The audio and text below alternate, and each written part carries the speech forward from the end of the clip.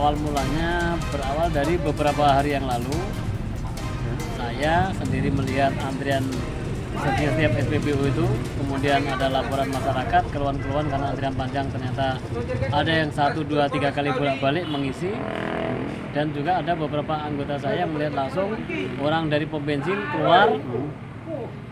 keluar dia dituang lewat selang ke iya. trigen, iya. masuk lagi ke eh, pom bensin isi lagi tuang lagi kan sampai beberapa kali